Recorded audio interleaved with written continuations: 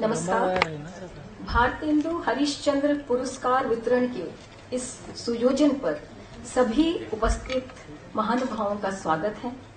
मंच पर आसीन उपस्थित गणमान्य अतिथि, पत्रकारिता के स्तंभ और सभी साहित्य प्रेमी जनों का मैं हृदय से स्वागत करती हूँ। माननीय सूचना और प्रसारण मंत्री के हम विशेष आभारी हैं। उन्होंने व्यस्तता के बावजूद समय निकाला।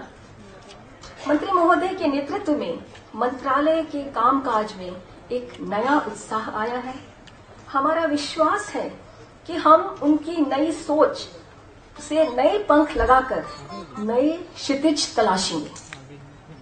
मंत्रालय के सचिव श्री विमल जुल्का जी का प्रकाशन विभाग की ओर विशेष स्नेह रहा है। आज वो हमारे बीच उपस्थित नहीं हैं, लेकिन हम उनके बहुत शुक्रगुजार हैं। मंत्रालय के अपर सचिव श्री जितेंद्र शंकर माथुर और संयुक्त सचिव श्री अनुराग श्रीवास्तव का भी विशेष स्वागत है।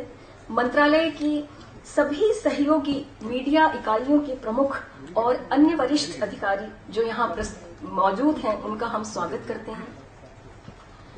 भारतेंदु हरिश्चंद्र पुरस्कार हिंदी में मौलिक लेखन के लिए दिया जाता है।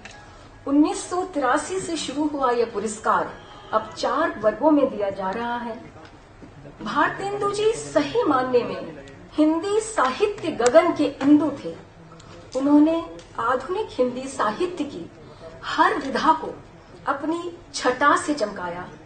इस महान साहित्यकार को आज हम उनकी जन्म तिथि पर नमन करते हैं। प्रकाशन विभाग पिछले सात दशकों से पाठकों को राष्ट्रीय महत्व की पुस्तकों का खजाना पेश कर रहा है। हमारे प्रकाशन, वर्तमान मुद्दों की जानकारी तो देते ही हैं, परंतु संस्कृति और परंपरा की राष्ट्रीय धरोहर भी सजाते हैं। हमारी चुनौती दोहरी है। प्रिंट इंडस्ट्री के हिस्सेदार के रूप में हमें बाज़ार की कसौटी पर खरा उतरना है और दूसरी ओर हमें सरकार की एक जिम्मेदार मीडिया इकाई के रूप में जन जन तक कम दाम पर सही और सुरुचिपूर्ण जानकारी भी देनी है। महोदय, हम इस दोहरी चुनौती के प्रति सजग हैं।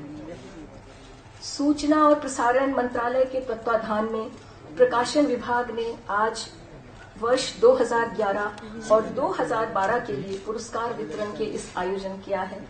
मूल्यांकन समिति के सदस्यों के सहयोग से पुरस्कार के लिए रचनाओं की चयन का यह काम हो पाया।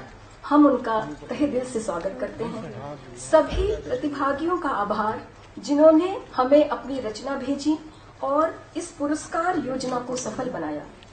सूचना और प्रसारण मंत्रालय को प्रेरणा और साधन प्रदान करने के लिए विशेष आभार। एक बार फिर हम हमारे माननीय मंत्री महोदय तथा उपस्थित जनों का स्वागत करते। आइए अब कार्यक्रम को आगे बढ़ाएँ। धन्यवाद।